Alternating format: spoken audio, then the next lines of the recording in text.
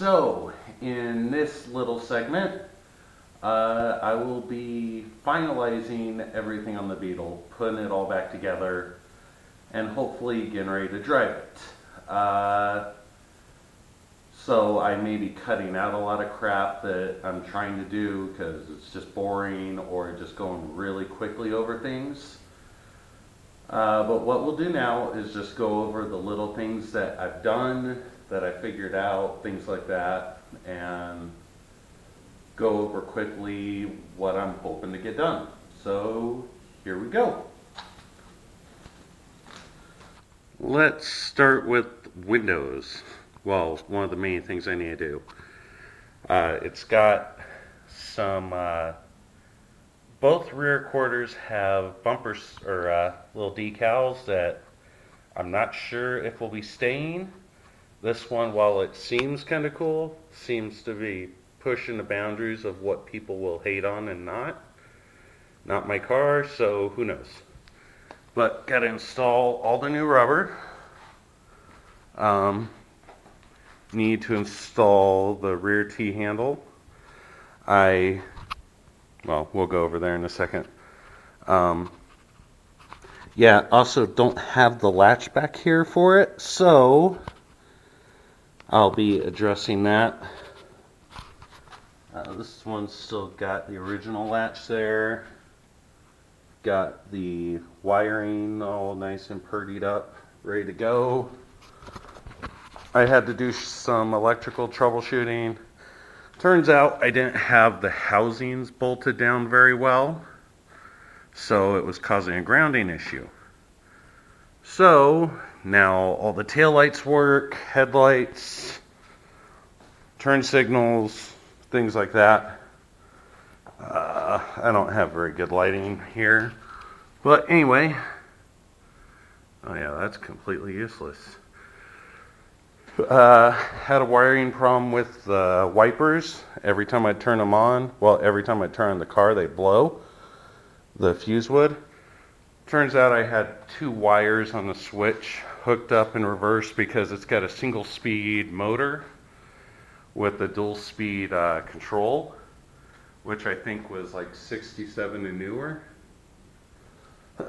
so, had to look that up. If anyone needs that information, I'm pretty sure I can post it. Just let me know. I ended up not hooking up the fast speed wire. Uh, like I hooked nothing up to it.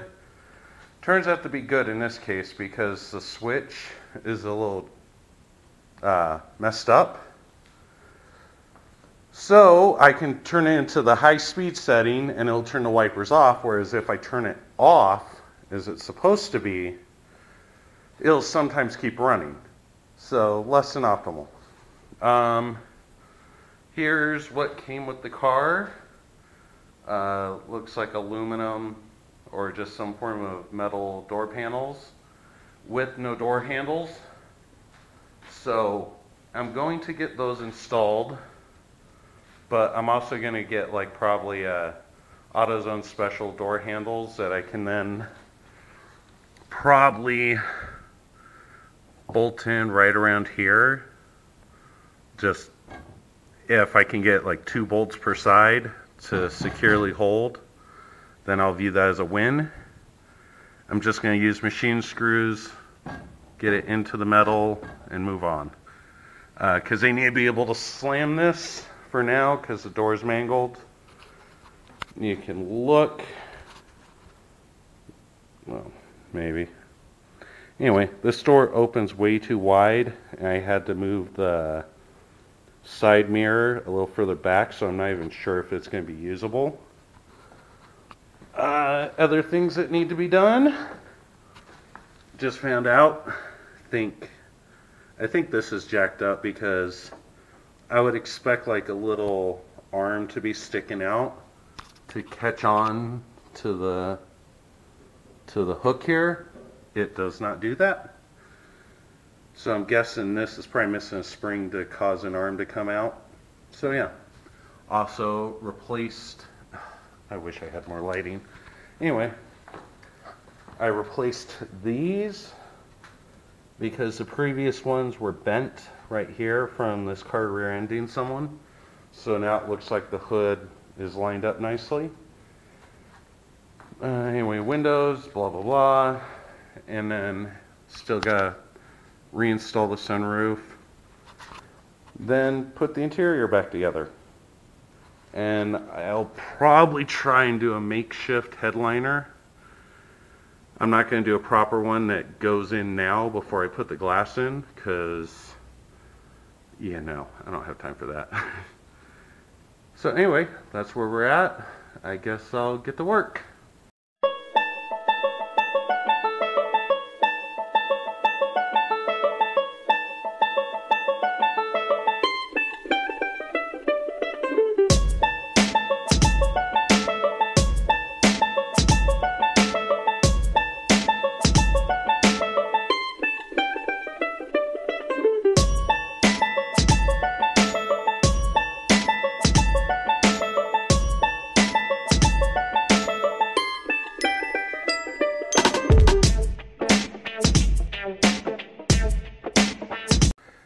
Small update.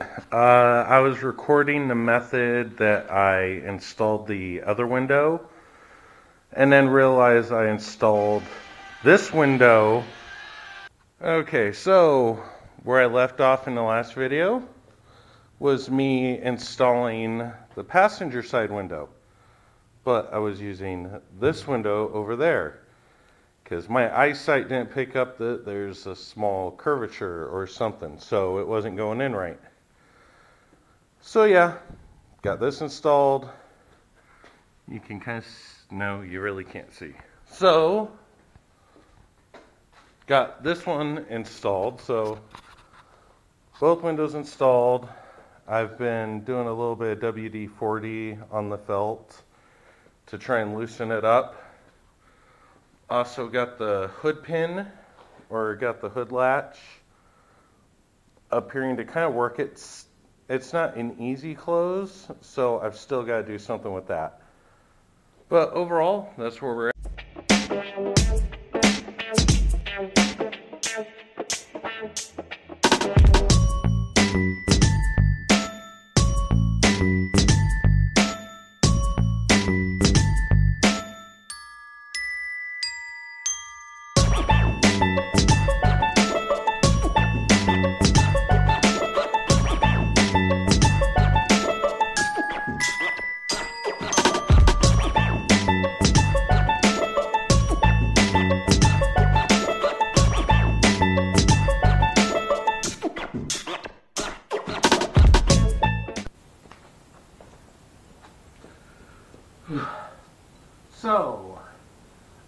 Get a number, a few more screws to finish uh, putting together the sunroof. Because when I got the car, that sunroof was just kind of barely hanging on and beat to shit. Plus, I gotta wait for the 3M weather strip adhesive to dry, you know, get the felt on there good. So, Gonna move on to cleaning and putting the rubber on the back window and the windshield. So let's go.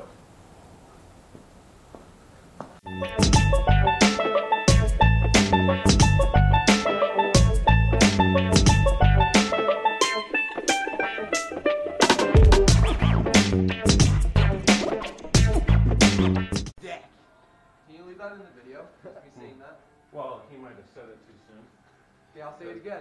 Right in the camera. Oi! Your nan's got tits! Thank you.